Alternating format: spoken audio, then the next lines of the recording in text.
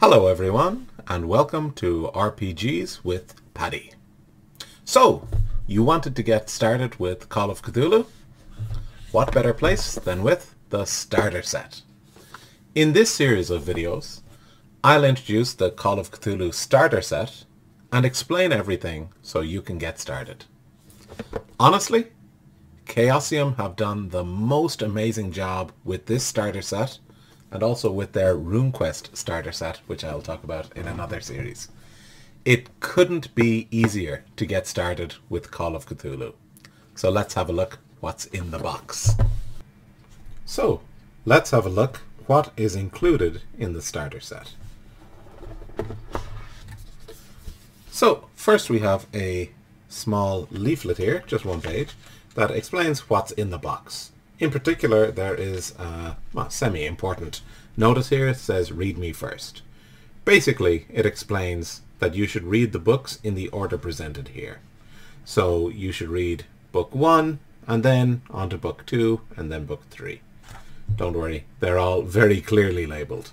Uh, on the back is a very nice piece of art and talks a little bit about the lore of Chaosium. After that, we get straight into the books. The first one here being Alone Against the Flames. This is a solo adventure which guides you through the rules of Call of Cthulhu. This is a choose your own adventure, and as you go through, little by little, you will learn the rules. I think this is by far the best way to learn how to play a uh, role-playing game, rather than trying to learn all the rules up front. Go through this, you'll figure it all out. Ah, the most important ones, at least. After that, we have a very thin volume. I'm not sure if you can see that. Extremely thin. Only 23 pages. These are the introductory rules. This is all that you need to play, well, the simple version anyway, of Call of Cthulhu. So very, very easy to learn the rules. The book two. And finally, we have book three.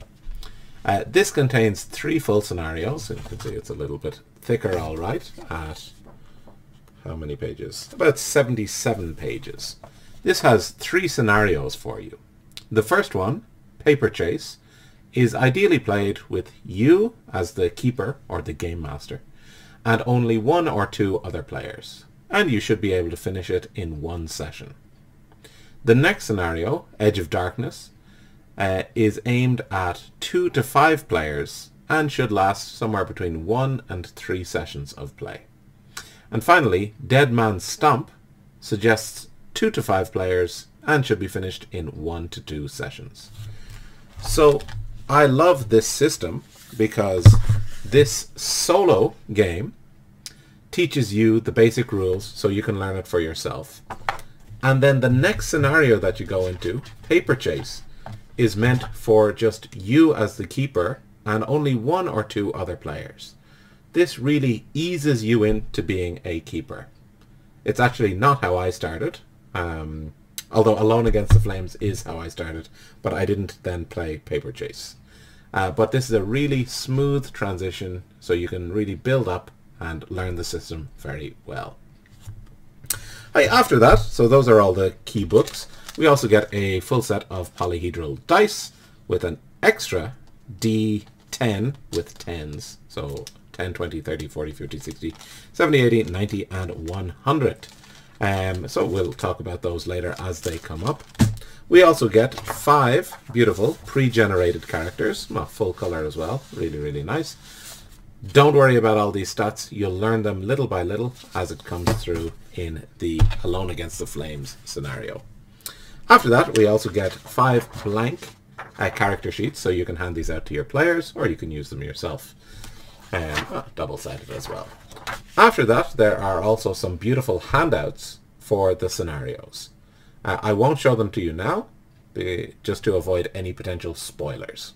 But rest assured, they are of the highest quality. So, that is what is included in the Call of Cthulhu starter set.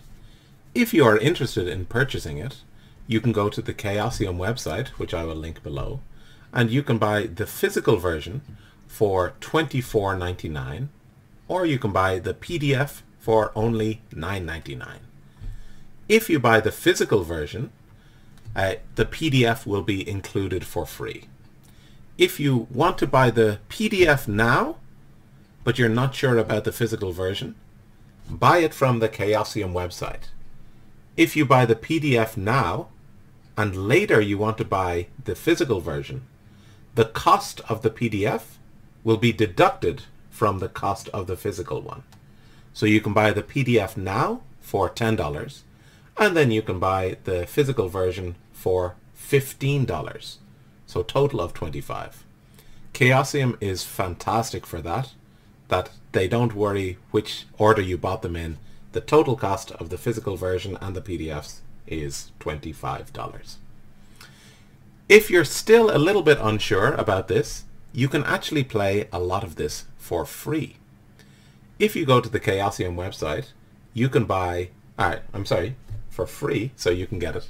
And this is completely legal. This is from Chaosium themselves. You can get Alone Against the Flames PDF completely for free. So the solo adventure for free. And the quick start rules also for free. Here the prices are listed. These are if you want to buy the physical versions. But the PDFs are completely free. I will leave links to everything down below in the description box. And just in case you're worried, I am not getting paid by Chaosium for any of this. This is purely for your benefit so that you know what you can buy. Okay, so for the rest of the series, I will go through in more detail what is included in the starter set, book by book. In the next section, we'll look at Alone Against the Flames. I think the best introduction to any RPG ever, and I hope you agree. Please remember to like and subscribe. If you have any questions at all, please, please leave them in the comments and I'll get back to you as soon as I can. Okay, thank you everyone. See you next video.